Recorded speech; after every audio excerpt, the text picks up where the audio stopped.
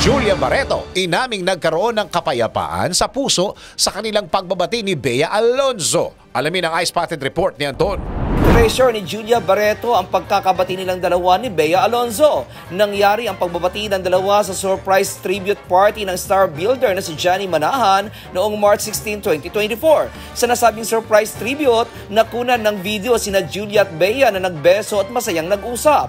Iyon ang first time na nakita nag-usap ang dalawa matapos magkaroon ng issue noong 2019 nang partangan si Julia na inagaw nito si Gerald Anderson kay Bea. Sa interview ni Tony Gonzaga kay Julia, sinabi nito na nagkaroon ng kapayapaan sa kanyang puso nang finally ay nagkabati sila ni Bea. Sinabi pa nito na the world is healing nang mangyari ang matagal na niyang inaasam-asam na pagkikita nila.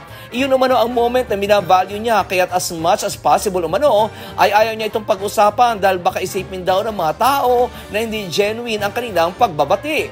Hoping din umano siya na magkaroon na ng peace ang lahat ng taong involved sa issue dahil yun umano ang pinaka-challenging na taon para sa kanya dahil sa dami ng pambabash na kanyang natanggap.